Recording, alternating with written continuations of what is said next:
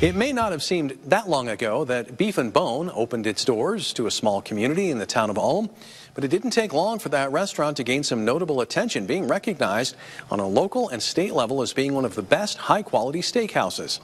Ever since Beef and Bone was launched, it has been a hotspot in Ulm that the Shaw family started uh, from the ground up. They have been recognized, again, on a local and state level for being one of the highest quality steakhouses in the state.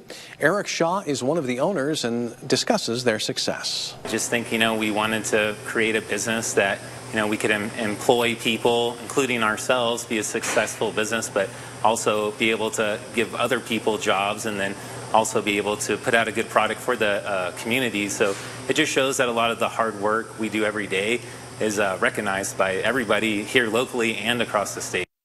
The restaurant is now a decade into serving customers from all over the Treasure State, and they aim to continue their tradition of not only emphasizing the importance of buying local, but also a business that hopes to give back.